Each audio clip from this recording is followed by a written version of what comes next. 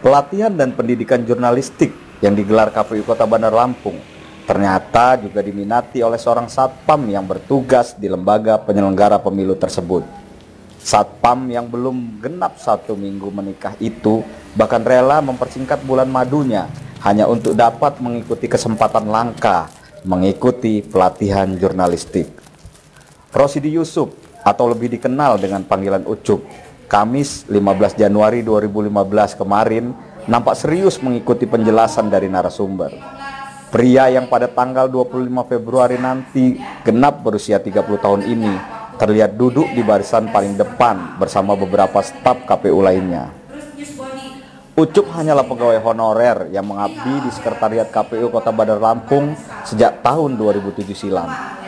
Tugasnya hanya sebagai satuan pengamanan Satpam Kantor.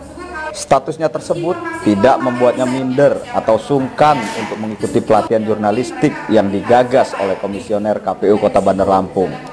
Padahal, dua orang rekannya, sesama satpam, memiliki sikap berbeda dengannya, tidak tertarik untuk mengikuti sikap ucup ini.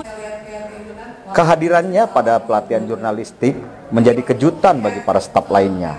Terlebih, hanya demi mengikuti pelatihan jurnalistik ini, ia rela mempersingkat masa bulan madunya.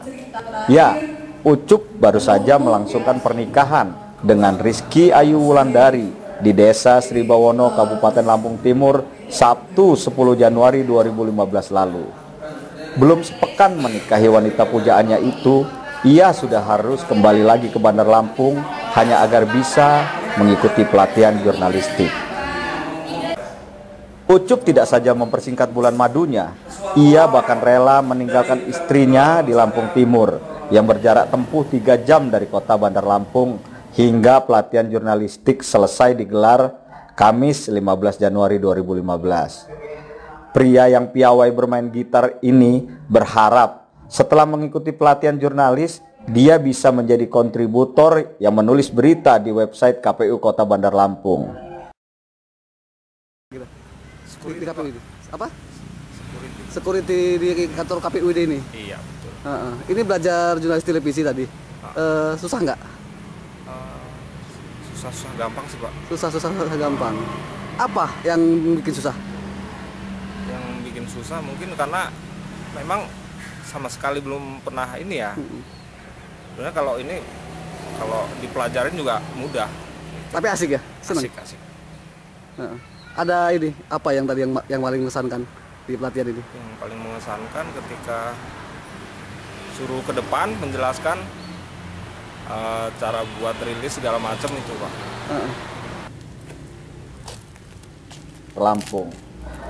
Pelatihan jurnalistik untuk para staf KPU Kota Bandar Lampung ini dilaksanakan dengan tujuan agar semua informasi terkait tugas kepemiluan bisa diakses oleh masyarakat luas dengan memberikan transparansi kepada publik melalui website yang beralamat di www.kpu-bandarlampungkota.go.id diharapkan tingkat partisipasi pemilih di Kota Tapis Berseri Bandar Lampung bisa meningkat.